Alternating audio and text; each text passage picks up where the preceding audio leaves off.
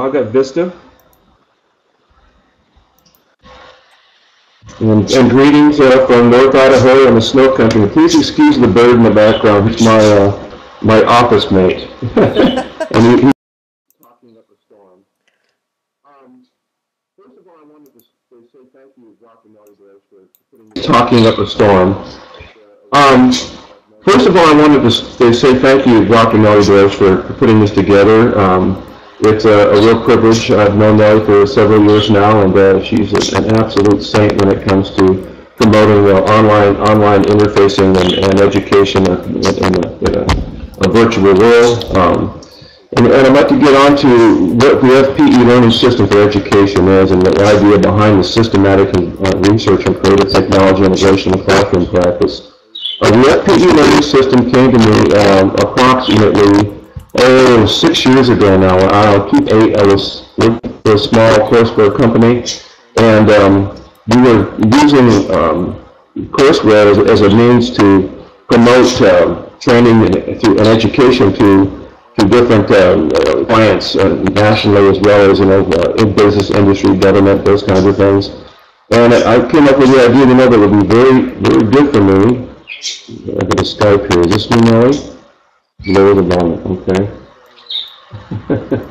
the trouble is I can't really hear you guys. Let's see. Yeah, is that is that better now? The WizIQ, right? In the Wiz IQ, because otherwise mm -hmm. it comes out static. Is that better? Okay. Mm -hmm.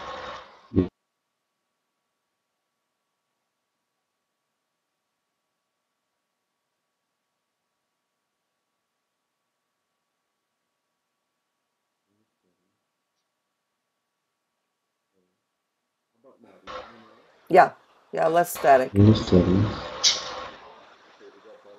Yes, yes. Much How about now? Do you hear me now? Sorry. Okay, is that better? Okay. Uh, no, don't be sorry. I'm, I'm, I want to share this to everybody.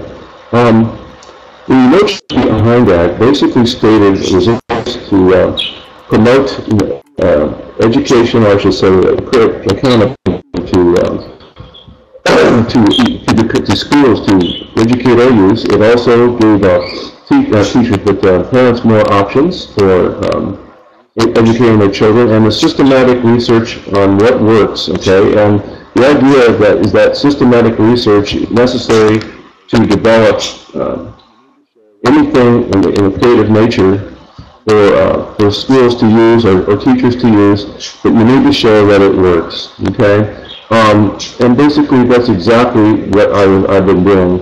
Um, so there's, there's basically what, what I just stated. Accountability for schools to educate students, provide parents increased options for schooling, and do it works on systematic research.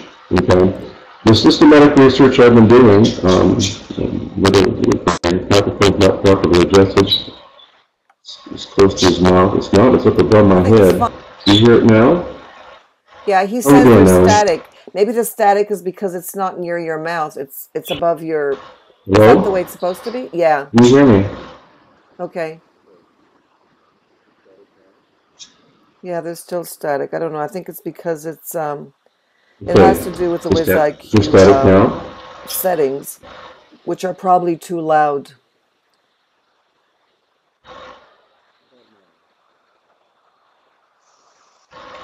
Okay. How about now? Yeah, we hear you really well. No, no, we hear you well. You, you hear me now? Well. You hear me really well now? You can see in the chat everybody's thumb is up.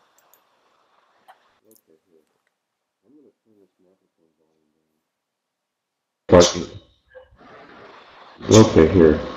I'm going to turn this microphone volume down. If I can get it to you.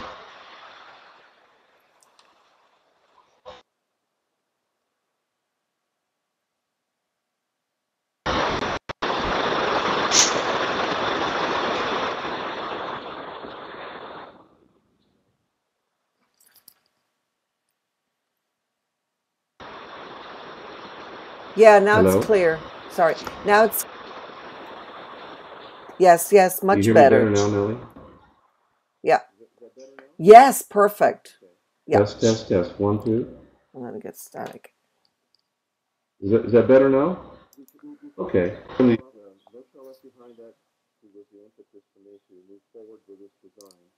we, we've come we come across uh, No Child Left Behind Act was the impetus for me to move forward with this design. Um, anyway, excuse me, I'm fighting a cold too. In the Act, uh, there, there is a, a, EETT, which stands for uh, Enhancing Education Through Technology. There's a $62 million allotment of monies yearly, okay? And the, the allotment is designed to bring 25% of that allotment into direct alignment with classroom practice. Um, when I was doing my dissertation research, um, the shortfall to, edu to, educational technology use in classrooms could be aligned specifically with uh, the shortfall of strategies to include technology at the student-based level. Um, we use a lot of technology for communications. We use it for um, uh, communi uh, not communication, but um, for interfacing with students online, uh, like doing doing virtual classrooms. You guys keep Skyping me here. okay, good. I'm getting out of Skype because it's, it's pestering me. Okay, quit. All right.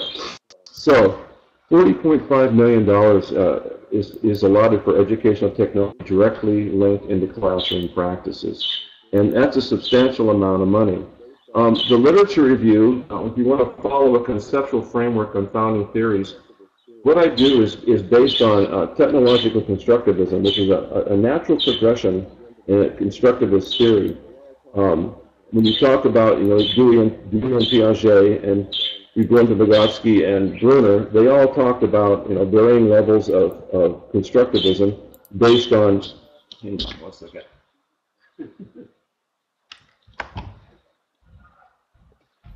Stop it. Stupid thing. My little bird goes crazy whenever I'm talking, and he's, he's still doing it. Can you hear him? I hope not. Um, anyway, with constructivism, social constructivism came about um, through Vygotsky, saying that basically an interaction or a social context brings about learning. Piaget, of course, said that novel stimuli in conjunction with our own experience brings about learning. And then Bruner said, no, only when varying opinions or differences of opinions come into play do we learn. Well, technological constructivism basically states that we can make meaning from technology and we don't need the interface of another individual. Um, Siemens basically kind of stated that with his connectivism and saying that uh, there are you know, nodes of information that are, are, outside of the context of, of social interaction. Uh, if you look at the literature gap right here in the middle, there are no strategies that include technology in the classroom practice. The, the, the students are ready for it. Um, the teachers know it's there. They know they need to do it. But there really was no strategy at the time of my literature review, as well as now, to my knowledge, that actually align bringing technology directly into a student-based level. Um, the three levels of technology I discovered in my research were personal technology, which basically anything that you bring to the table as an individual, um, your skill set masteries with you know Microsoft Office products, anything else you do, screen capture tools.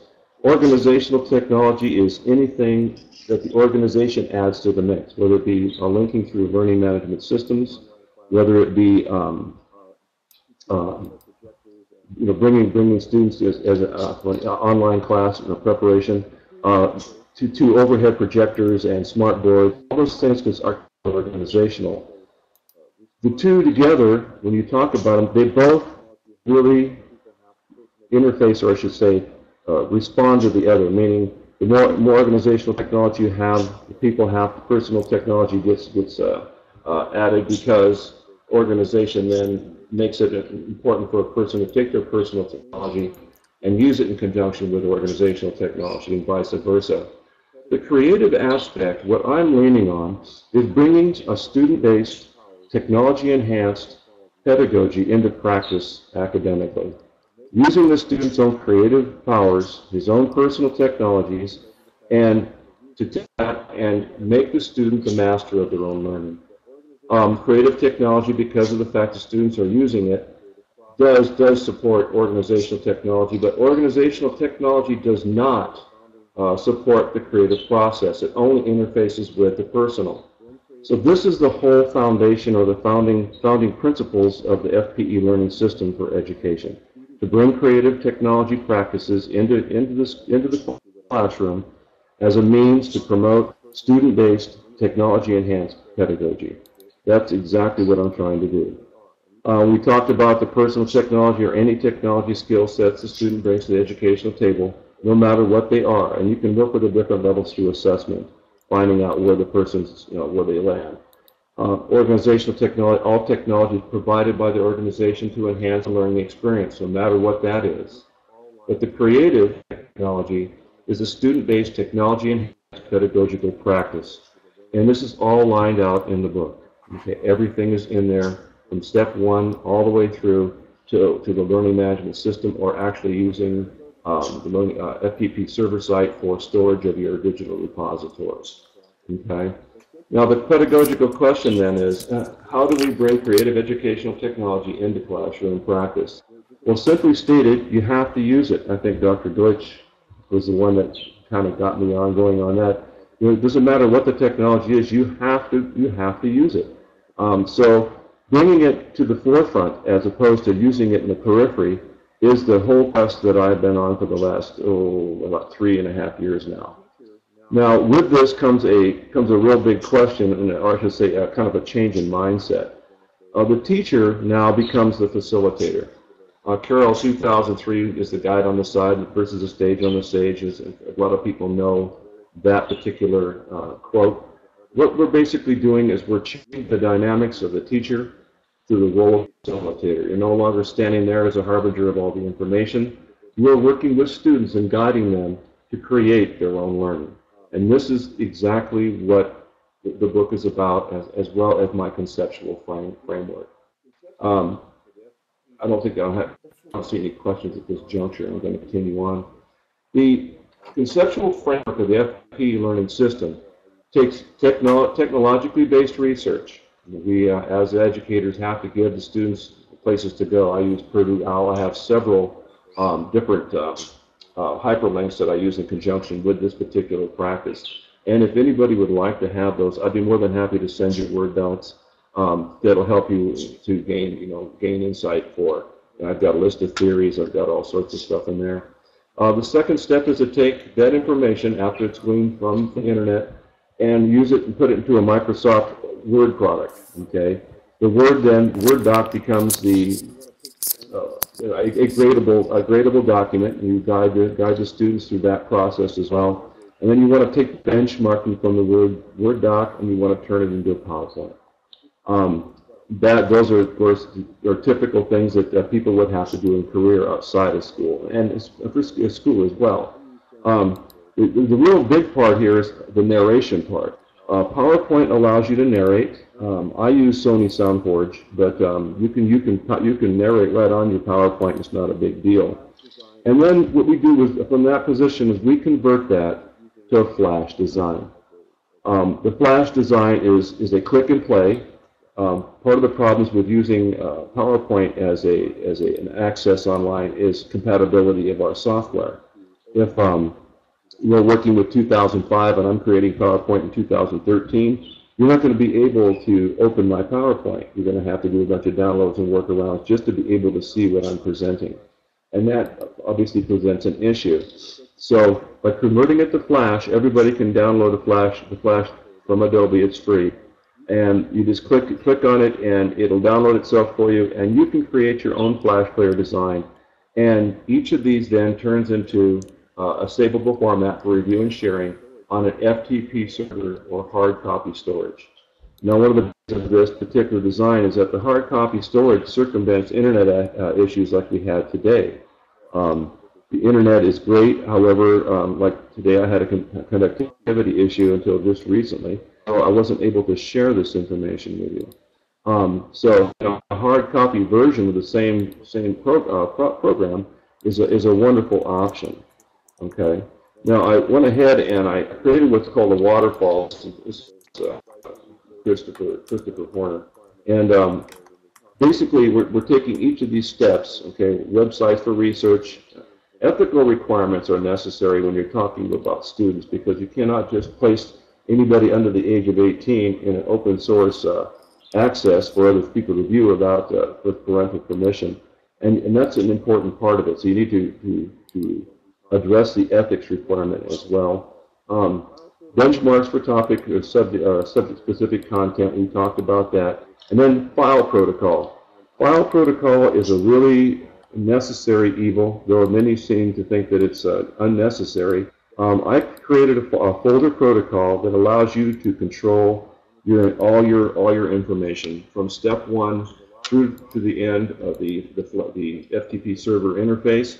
Um, it's it's really important because a lot of this software likes to save to places that are difficult to find, and um, I use Articulate uh, Suite. Articulate has its own folders it likes to save all the information to, and then I don't necessarily have access to it. So I like to create a folder protocol that's basically controls, and you teach the students to do this, and controls all of your information and places it in one place, and you can go back. I've gone back several years. Uh, a colleague in Chicago said one of my links wasn't working.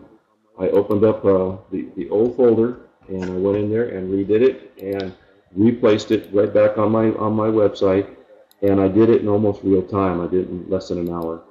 Okay.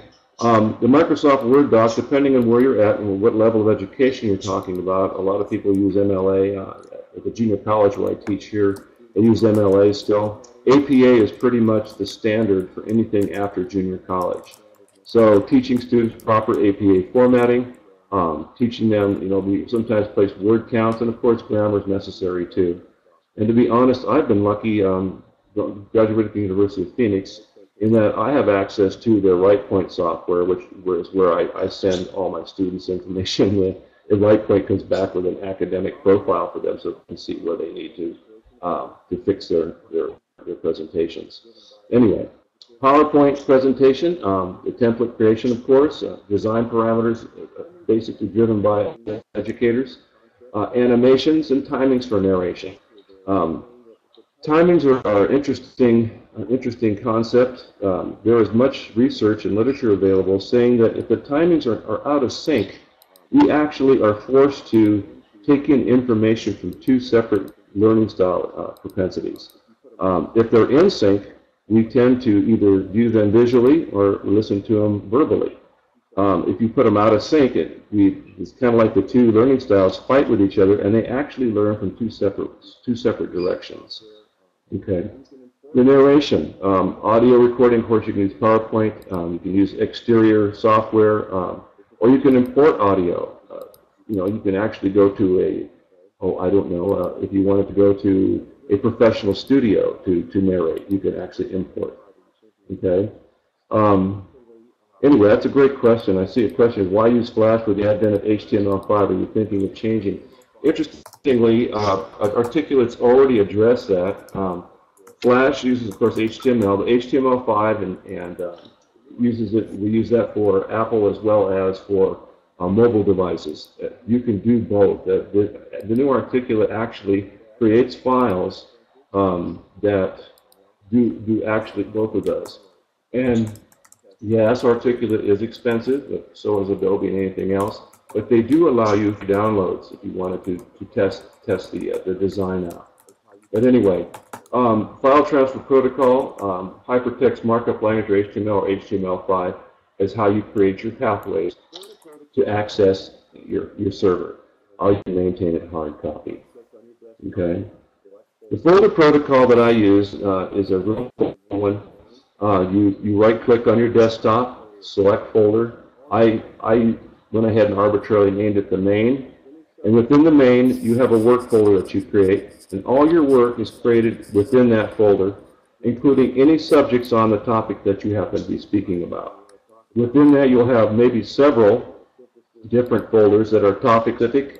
If you're studying science and you want to talk about uh, botany or photosynthesis, or you could have a plethora of different kinds of content-specific folders. Each time that you publish to a Flash design, you publish it back into the main, and it actually publishes into a folder file right here and right next to the work folder.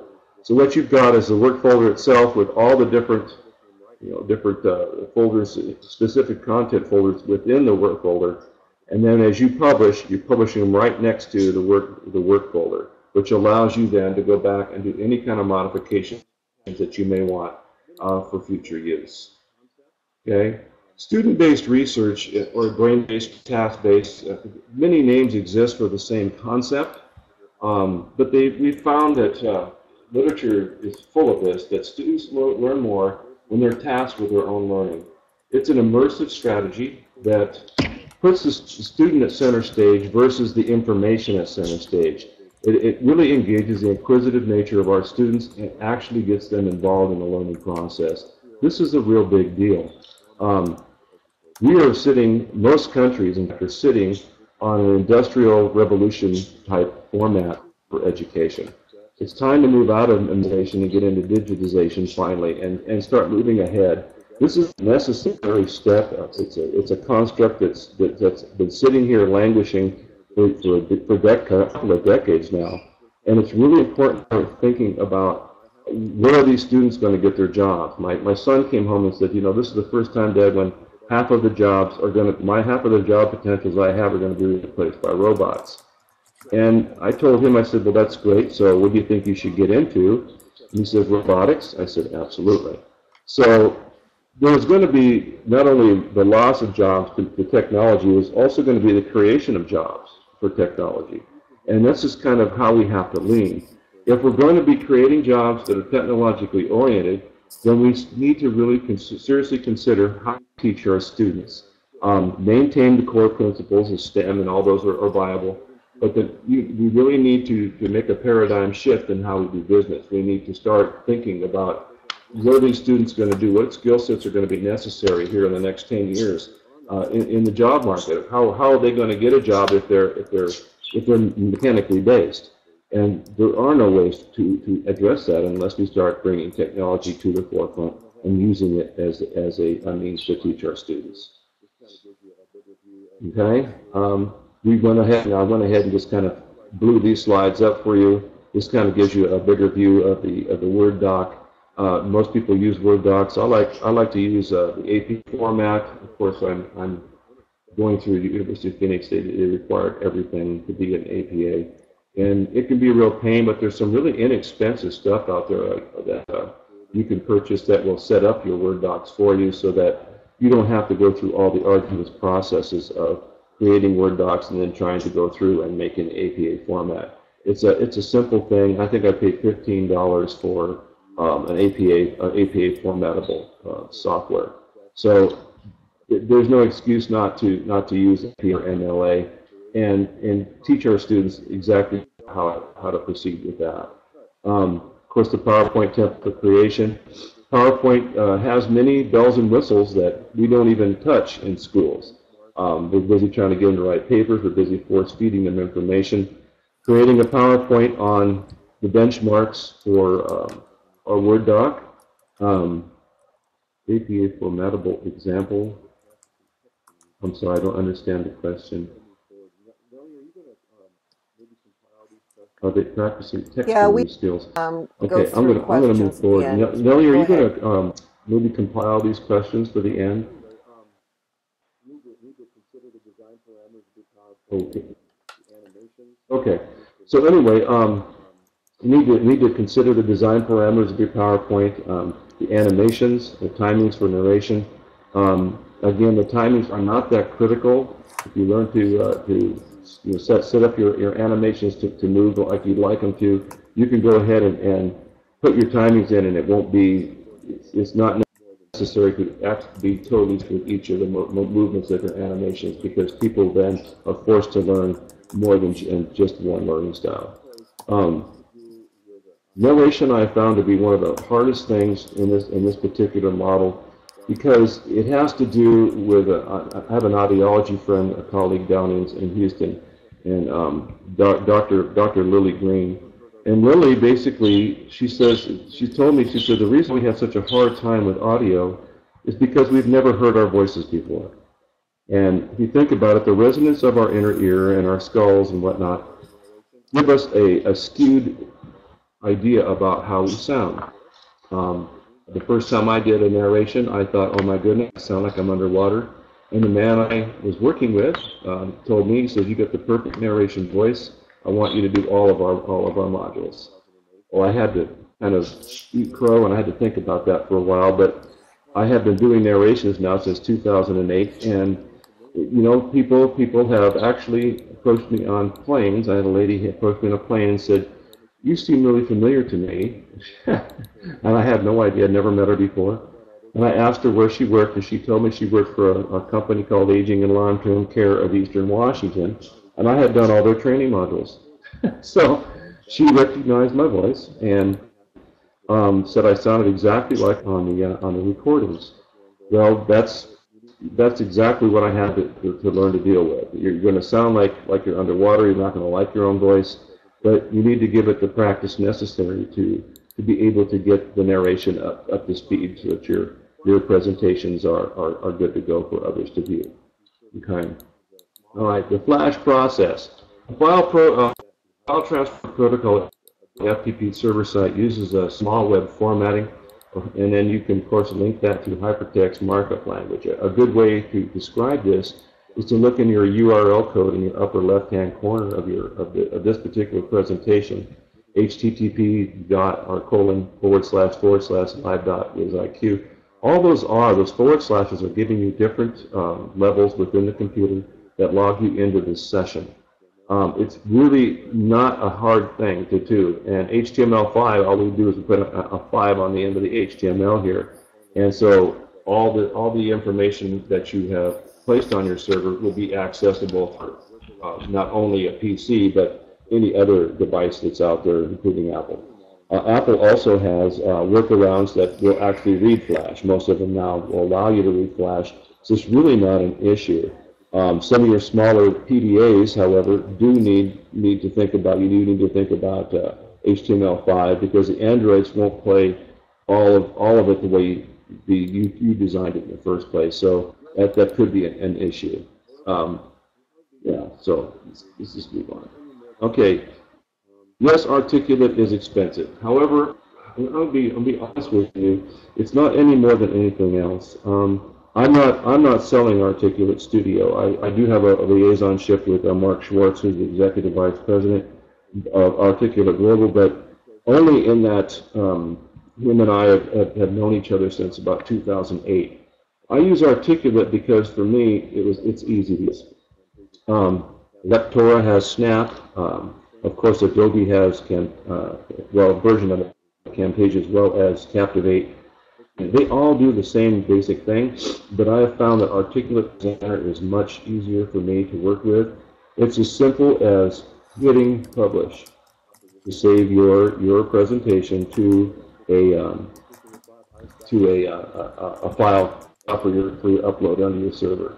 You have old Articulate 5. Articulate 5, I, that was the first one I started with, and it worked just fine. It does exactly the same thing most of it has to do with uh, iconology changing, kind of like uh, between uh, 2005 and 2010 MS Office uh, that changed a lot of the icons and stuff like that, and you had to kind of look around. But once you get used to working with it, it's not hard to work with.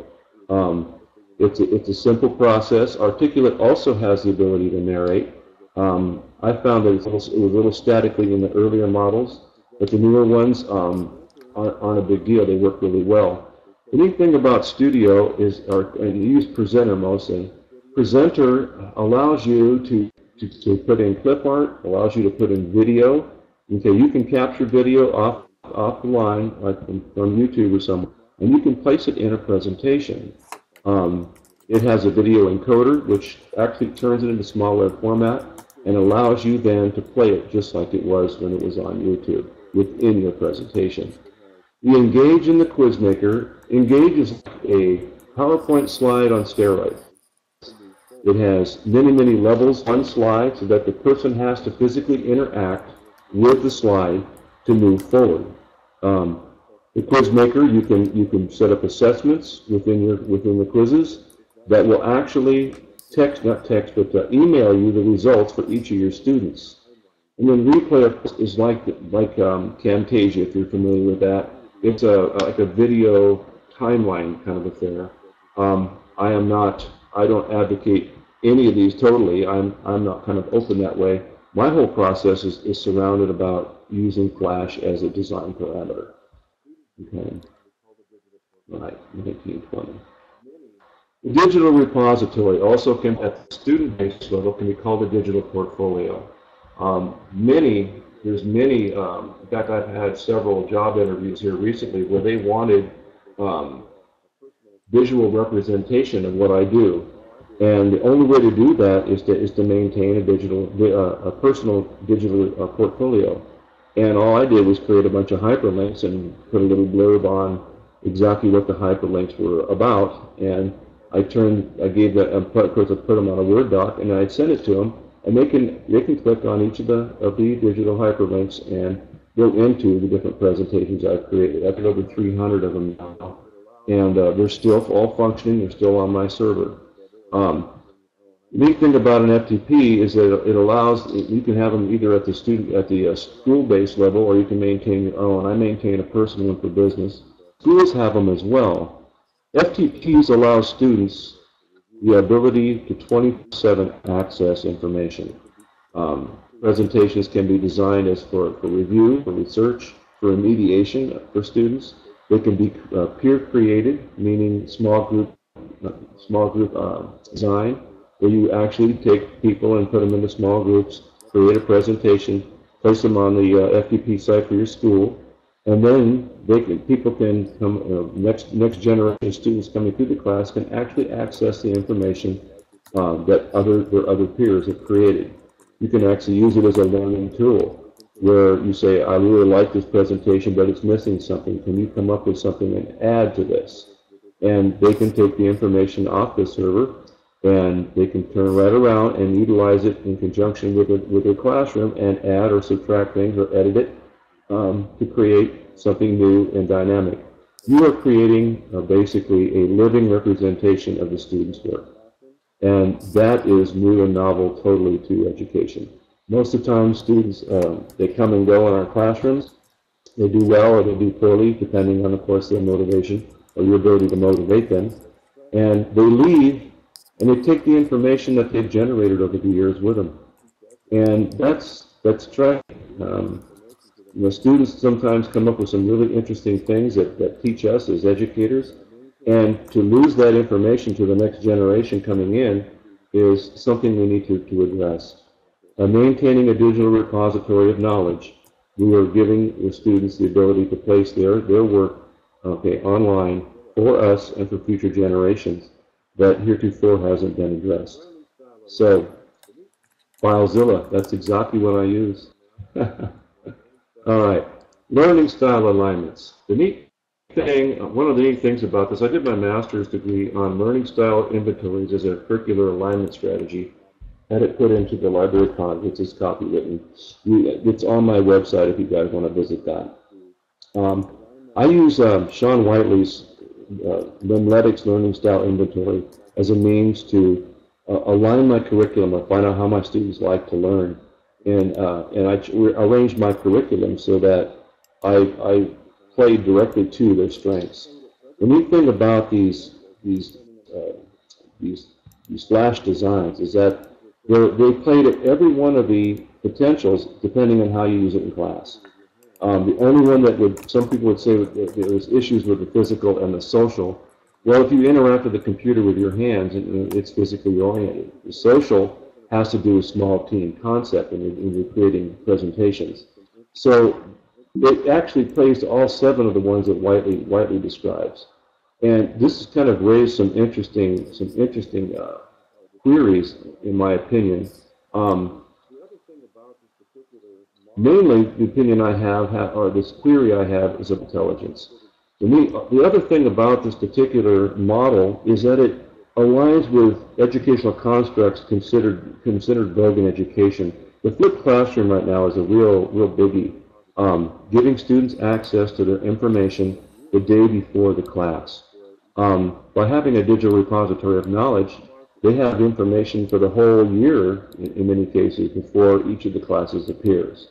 Um, response to intervention is now called some uh, system systematic something I forget exactly, but the tiering approach, if they need a lot of remediation, they can access the, the digital repository as a, as a means to give them heads up on what you're trying to teach them. Um, differentiated instruction is is it, uh, that pretty much you know you're using a different different mode, and many students really um, uh, cleave to technology as a means to, to gain information. Which brings us to Howard Gardner stuff. Okay, the, the query I have has to do with um, if, if students gravitate towards multiple intelligence, or not multiple intelligence, technology is a means to learn, might we think that perhaps there is actually another another piece of this pie, um, a ninth learn, uh, learning style of multiple intelligence where students interface? I mean, I just spent a few minutes with uh, Mr. Sign on, on, on, on Skype here, and he was really good at getting in here and working from wherever he's at. I believe he's in India and he's doing his thing virtually with me on my laptop sitting here in northern Idaho. Now, he's obviously got a ability with uh, technology, and if he uses that as a means to educate himself, then why would he want to do anything else? That's kind of one of the questions I have. Um, the flipped classroom, okay, review the material, digital repositories of knowledge the night before the class, content can be assimilated you know, at a, at a greater pace by students, is a really wonderful idea. Um, giving students a heads up ahead of time is, uh, to me, that makes perfect sense. I mean, why wait until classroom time just to sit and you know listen to something when you, when you can actually review it the night before? And it's not the same old boring read this chapter or watch the boring video of the boring professor standing up in front of you it's, it's a question designed by either the peers or the instructor that has all the, the, the core benchmark information in it. And it prepares them for the next class so that they can spend more class time discussing the topic as opposed to trying to learn the topic. This, this is a, and it's becoming quite vogue all over the United States. I don't know about other countries. Um, but yeah, it's, it's, it's, a, it's a great idea. With differentiated instruction, uh, FPE learning may be used as an alignment strategy for differentiated instructional design, you can plug in pretty much any, you know, anything that you want to do in regards to these, to these different, different sections to differentiate differentiated classroom. Uh, you can use a digital portfolio um, as, a, as a guide for kids to learn their, their colors or their squares. You can use it as a guide for studying history. You can use it as a guide for you know, simple physics up through math uh, as a means to educate them on English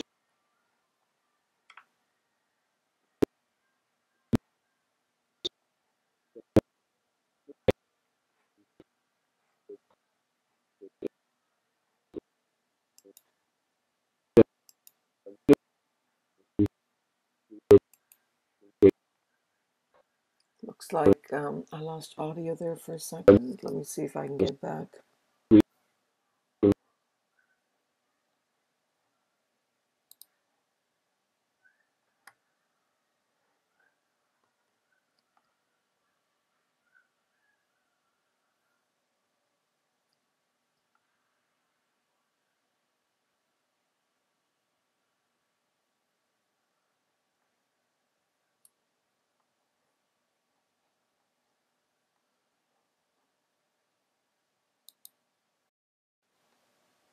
Is saying, if modern students are drawn to educational technology preferred method to learn, it does the possibility... intelligence saying, if modern students are drawn to educational technology the preferred method to learn, then does the possibility exist that a digital interface educationally may be viewed as yet another example of multiple intelligence? That, that, that question really struck me. I've been in contact with Howard Gardner. He, um, he's the, the jury is out, as it were, at this juncture. Um, but I'm going to continue to ask him about this because this, this to me, it, you know, we are changing all the time. In fact, um, I'm working with a, a, colleague out of Sacramento who works with Asperger syndrome children. Johns Hopkins, one of the doctors that works with Asperger kids, um, came up with an interesting speculation, uh, conjecture, if, if I will. Um, he basically is stating, and this is this is kind of kind of out there, but if you think about it, it may just be true. Is Asperger's the next evolution of mankind? Um, you know, they're terribly intelligent, they just don't like socialization. They're the perfect people to be plugging into a technological interface to teach. In fact, we have found through a pilot study that um, these students really, really love to do technology, and it's a really neat, a neat way to um, to get rid of issues with behavioral crisis. Uh, they don't like socialization. They don't like you talking to them. You're beneath them in the way they think.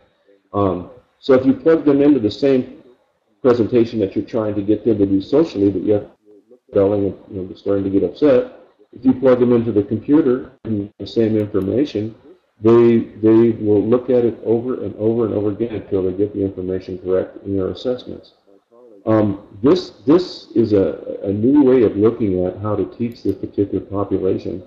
And uh, my colleague, uh, Dr. Catherine Buchanan, down in Sacramento, she's one of three um, three autism specialists nation that is certified through, the, through the federal government to, to do this kind of research.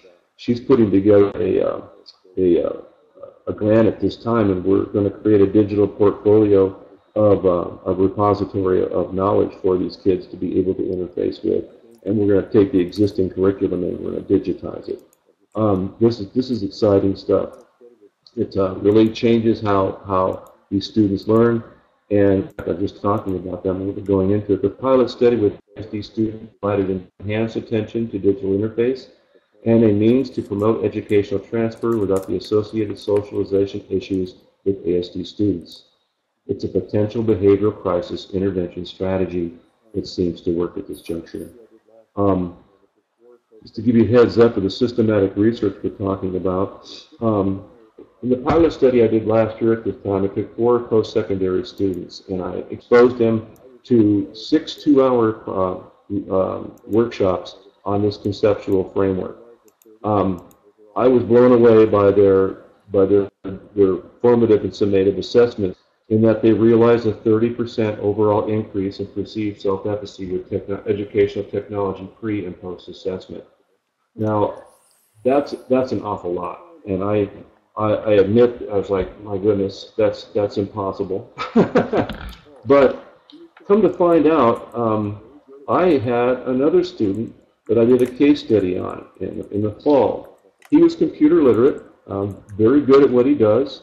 Um, he had a 16% increase in reported self-efficacy with creative educational technology. And I've just started the new round of, of uh, educational technology with two more students uh, doing case studies on two of them, one of which is a high school student. And there, both of them are excelling at this particular type of interface. Um, I'm hoping to eventually get a teacher because that would be the cyclic nature of education. You know, your, your, your school, your, your your, uh, your primary student versus your secondary student versus your teacher.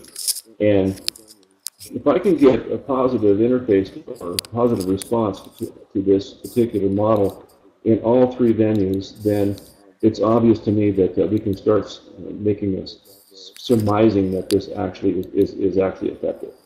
Um, so I, the jury is still out, but I'm working towards that goal. And um, I'm going to continue these case studies as long as I can get people to inv be involved with them. And uh, they, at this juncture, it seems to work, and it works wonderfully. So I'm going to continue continue to do this in hopes that uh, eventually it will take off. Now, a little caveat to all of this: I am not advocating uh, to use Flash Player, electronic learning, for uh, a replacement for educational practices but rather as an enrichment designed to bring student-based creative technology enhanced practices into the classroom. I want people to understand that this is an and with type of mentality and not an either or.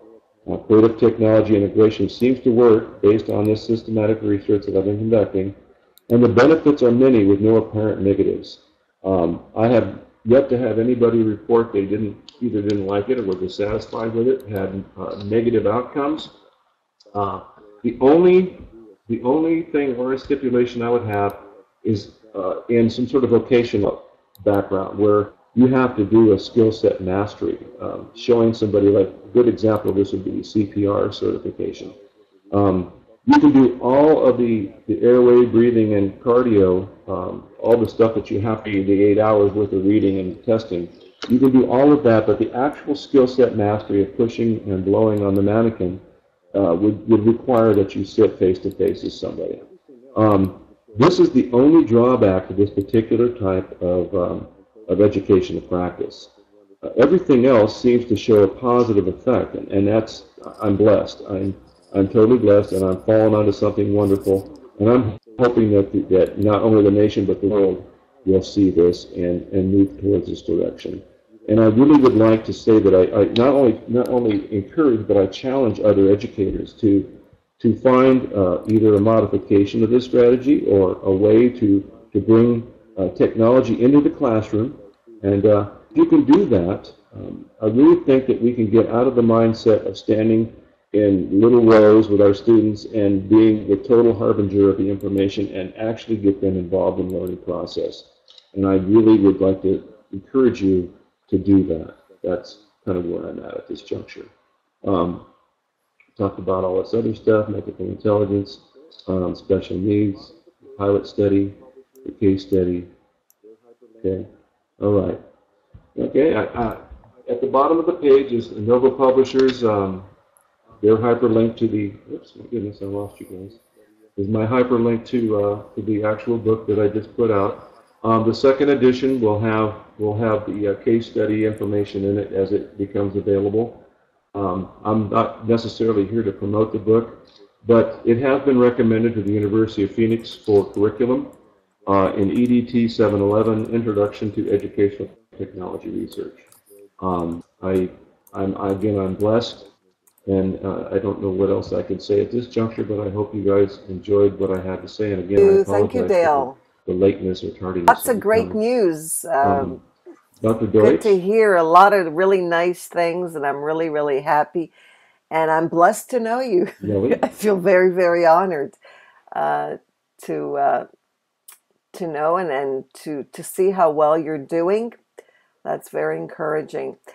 How can we? There were some questions here, but one question comes to mind: How do we get started? We're we're interested. What do we do? Step one, two, three, and so on.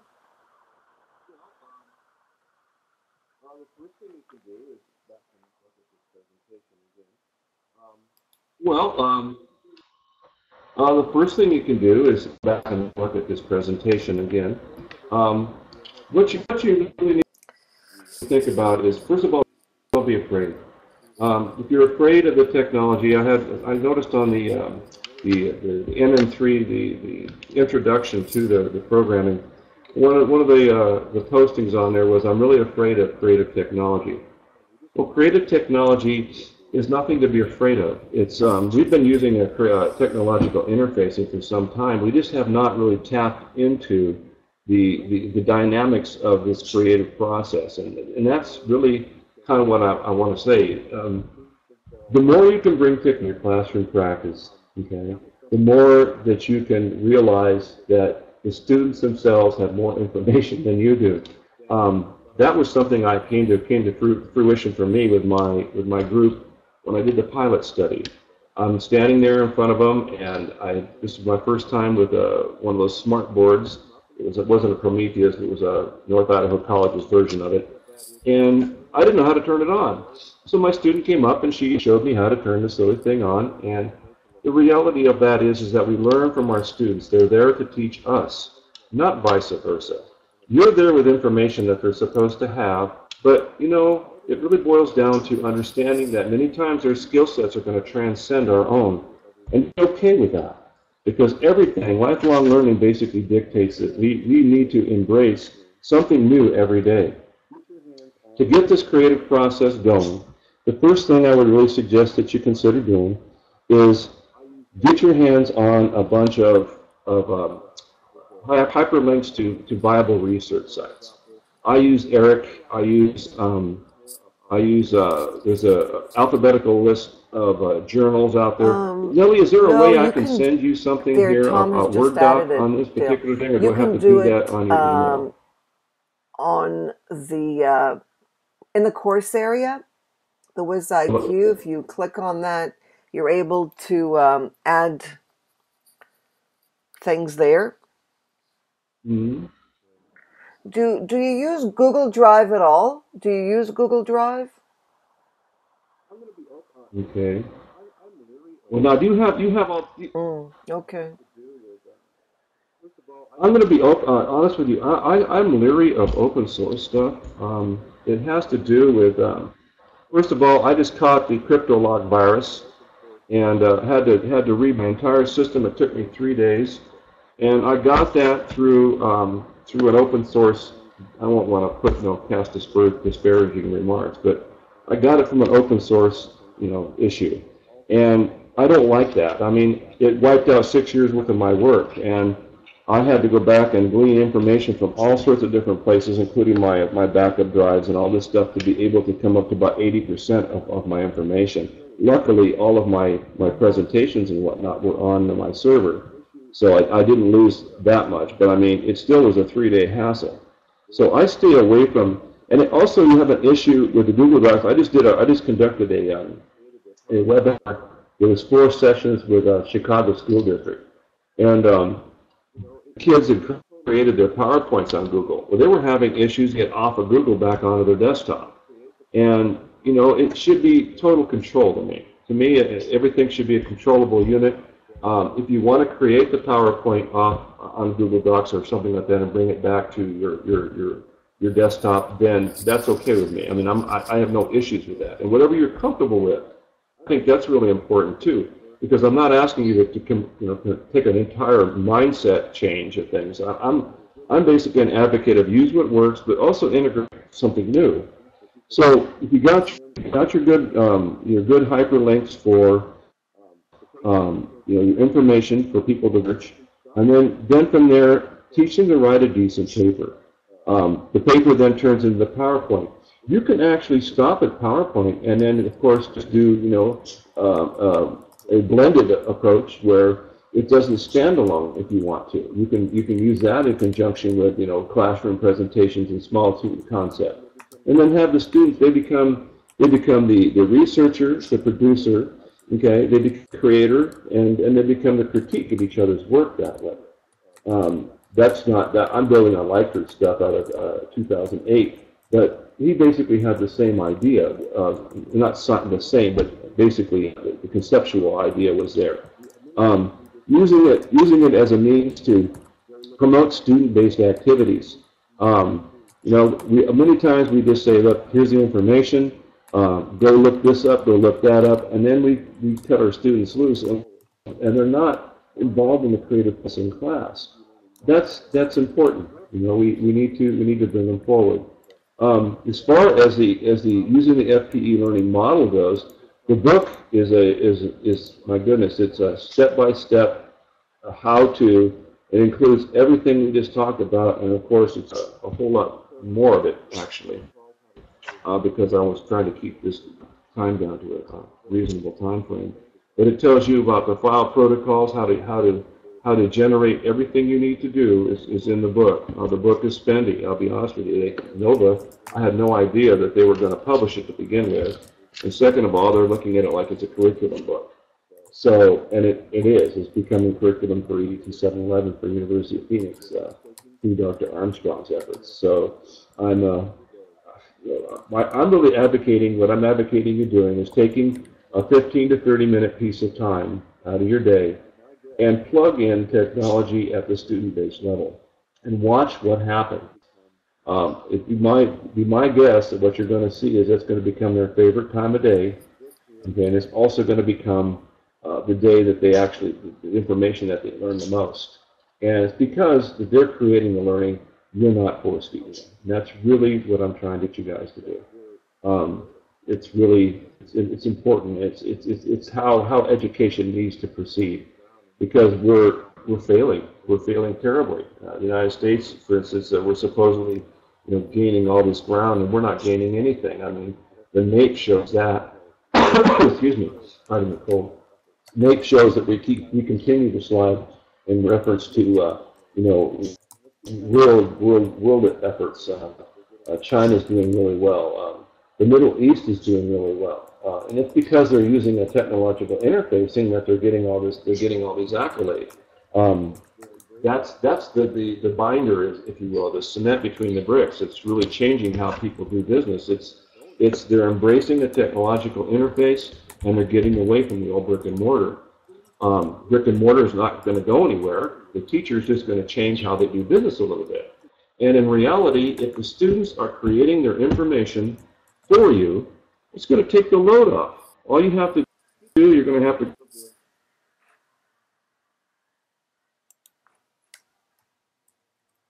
keep the digital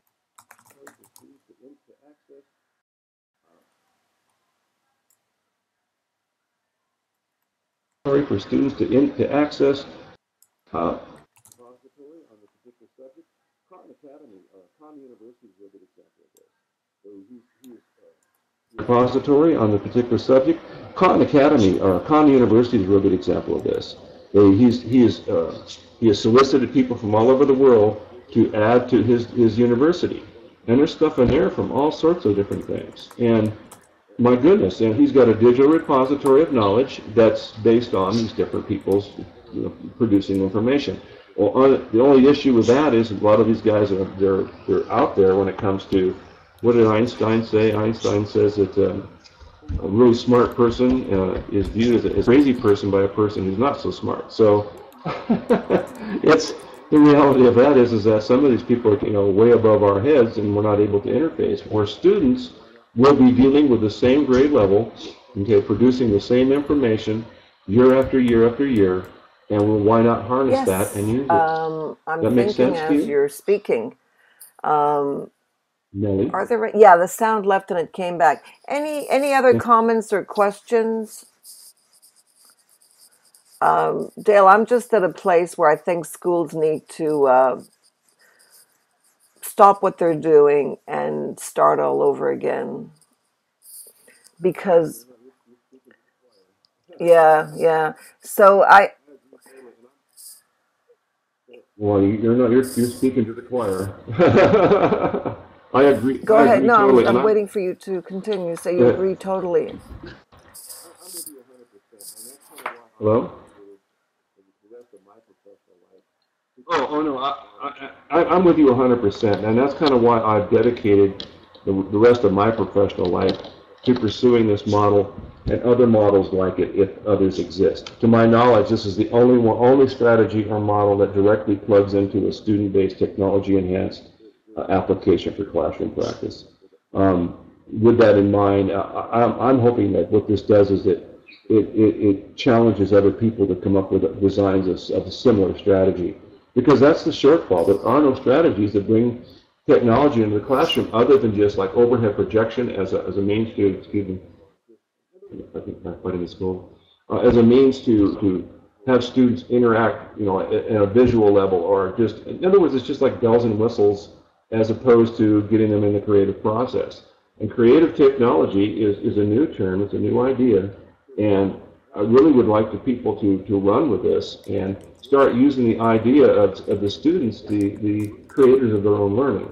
This is where I'm at at this juncture, and I'm, I'm really passionate about this. Um, if it didn't work, I'd say, you know, okay, let's try something else, maybe back to the drawing board. But it's working. It's, that's, that's what's scary about this. I, I mean, I, I feel blessed in many regards because it is working. And by all, by all indications, high school kids is getting it too. And if that's the case, all we have to do is go down, go down the, uh, the roster and age to find out wh- where this is actually a viable strategy. And if it's not a viable strategy in its entirety, how much of it can we use? And I have, I have um, Sean Banks out of out of Magnet School in Chicago had two little girls, and this is on my website if you'd like to look at it. Two little girls, one was a kindergartner, one was a first grader, went online and asked the question, was Thomas Alva Edison a global citizen? And they put together the seven criteria that were global citizens, researched each of the criteria in, in reference to Thomas Alva Edison, and came up with yes, indeed, he was a global citizen. But the point being in all that, these kids were kindergartners and first graders. And she says, Dale, I still talk to them to this day, and they still remember about Thomas Alva Edison, where other students in class he invented the light bulb. And they had all of this information. So um, to me, that was pretty much a, a, a teller, as it will, as it were, in that this really works. And they, they researched their own information, they produced it. The old read, write, and recite kind of comes to mind. You, you read it online, you bring it in, you bring it into play, collect the information, you recite it, you excuse me, and then you recite it, okay, through narration. Well, then it produces something that students can be proud of. Um, it's amazing how kind of up like chickens, and they're all excited about their presentations. And to me, owning owning the knowledge is is half the battle. So you know, I'm going to continue to push this. I really want people to get involved. Um, people can, can, can contact me. Um, here, I'm going to give my put my uh, my email down. Anybody that wants to contact me, and uh, yeah, it doesn't matter whatever your question is. There's no such thing as a dumb question. It's Dale at FPE Learning. Uh, um, my website is is fpelearning.com. Um, .com Okay? And if you'd like to go in there and look around, you can use anything that's on my site. Um, you know, as long as you just give credit where credit's due, I'm totally okay with you guys using anything that's on the site. You can link to it. Uh, believe it or not, uh, my, my action research project, University of Phoenix, my master's degree, is the number one thing that's been hit on uh, because I used a template from University of Phoenix, and apparently, because it was published uh, in the Library of Congress copyright, um, it uh, has, has some weight. So people are using it as a template to do action research projects. Um, that's the kind of thing that education is about. You know, it, it's the sharing, the giving back and forth, um, sharing of knowledge. You know, interfacing. The, the internet has put the world's information at our fingertips. You literally can find topics on anything you want. Um, we need to har- we need to harness that and use it in conjunction with schools. I mean, you know, yes, you need filters. You need you know to be to be you know, aware. You cannot just turn people loose and expect them to come up with good stuff. Those kids will be kids and they'll do they'll do silly things if you give them a chance. But as long as you're you know overseeing them, and that's that's the most important thing. And they, they, they learn to, to surf properly. They learn we, we guide them towards you know viable places for um, their research. We we we uh, do constructive criticism on how they're writing. Teach them how to write academically. Um, help them with the, the creation of their PowerPoints and then push a button to publish it to Flash. It's really that simple. It's not that hard. Um, in, of all the things, the hardest part is is creating the hyperlink, and that's that's really no biggie either. And that's of course it's in the book as well. It's a start to finish. Um, has everything there for you. Um, and if you have any other questions or that kind of thing, you can email me. You can contact me my even my cell phone number is there. So if you really have a question that needs to be answered and, and you cannot get Thank an answer you. from Thanks me, and I always answer so much, emails, everybody, for joining us. by all Thank means, uh, call me. for uh, coming through. I think that's the important thing, the fact that um, you made it. And I hope that you feel better uh, with your cold. And that the weather, uh, you know, spring, spring should be around, you know, next month is springtime, right? So I hope uh, the weather realizes that it's time to chill out. Pardon? well, you'd hope. You'd hope.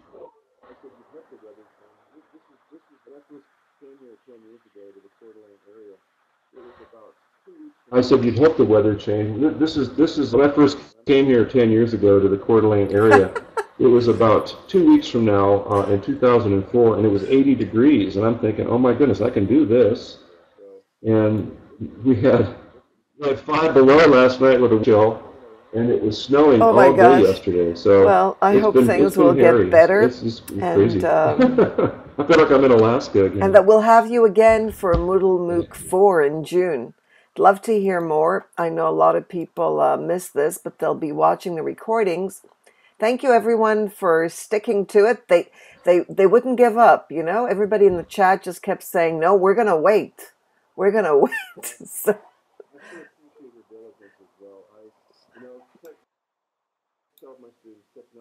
Well, I I sure appreciate your diligence as well. I, you know, tech, tell my students, technology is great as long as it works like it's supposed to.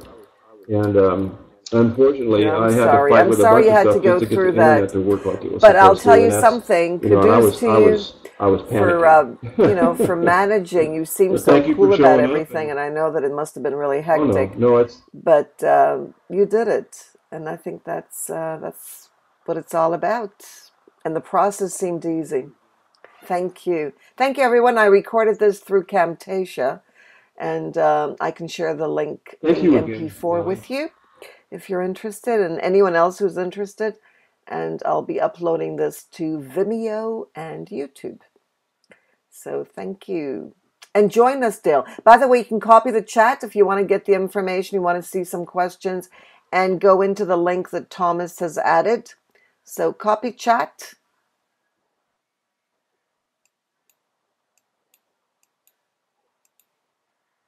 I hope you can see the copy chat there um, in the send. Yes, copy chat. yeah. All right. No, uh, Right, copy chat. copy, ch- copy chat. Chat copy to clipboard. Okay. Um, I'm going to send you. Um, I can I'm add to that to send the you that Word course. doc with all those Yeah, I can um, add that to the um, MOOC. Very pliable good. research places. I'll do that. you, Thank you'd like Thank that, you, and if everyone. anybody's interested, you can maybe for- forward them to them. Okay. Okay. Sounds good to me.